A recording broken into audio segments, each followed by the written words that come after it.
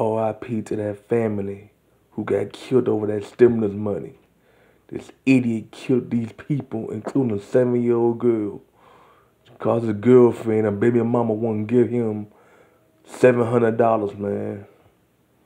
He think he's entitled to $700. I mean, he did nothing to earn that girl money. But then again, just because she turned him down, that means he killed her family.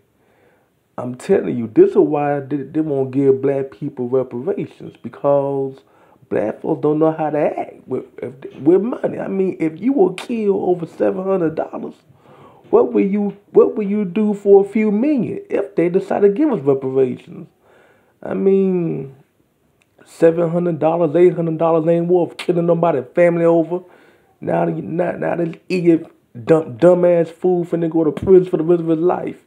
You don't deserve to get out, you damn fool. Go kill a whole family just cause you don't get your way. Man, fuck you.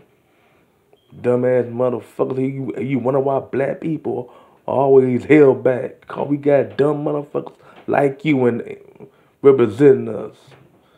Like I said, man, that, that family did not deserve to die like that just cause you don't get no damn chump change. I mean, black people are so used to not having money that when you get money or get hold of some little chump change, you want to act, act like a fool.